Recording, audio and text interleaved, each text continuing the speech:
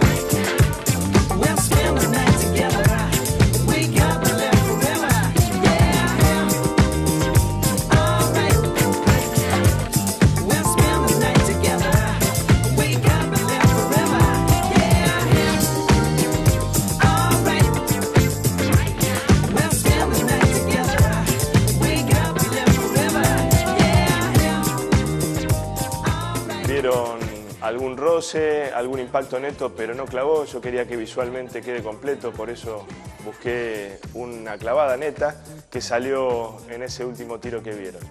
Si les interesa el tiro con arco, pueden visitar nuestra página arcosur.com donde van a encontrar información de las dos sedes, la de San Telmo y la de Pilar, una de sala y otra de aire libre. Y, o si no, pueden ver el apostadero, que vamos a estar en un par de semanas con otra nota. Chao, gracias. Tonight